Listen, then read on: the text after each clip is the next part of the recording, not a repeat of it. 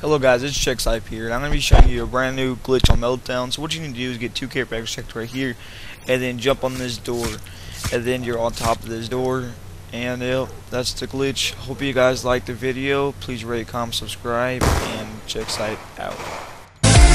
On the edit around the river, like my name is JoJo Like I'm ripping all these shots that it's so cold You don't even know, yo Damn, I can get it so cold like it's fro, yo